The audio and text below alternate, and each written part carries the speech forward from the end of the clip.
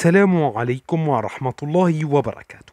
لماذا تختفي القطط يوم عيد الأضحى؟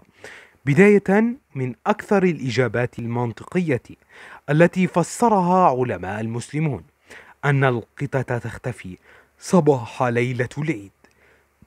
ولكن هل تسألتم لماذا؟ الإجابة كالتالي: لأنها ترى الملائكة وتهرب خوفا منهم. أو تختفي على حسب ما قيل احتراما للملائكة والمسلمين. أو اختفاء أو اختفائهم هو أمر من الله سبحانه وتعالى حتى لا يعترضون ملكا مكلفا مكرما. وهناك حديث ضعيف بخصوص نزول الملائكة أول أيام عيد الأضحى.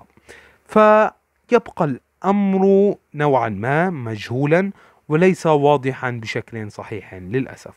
فبالتالي أتمنى بأنكم حصلتم على الفائدة والإستفادة الكامنة.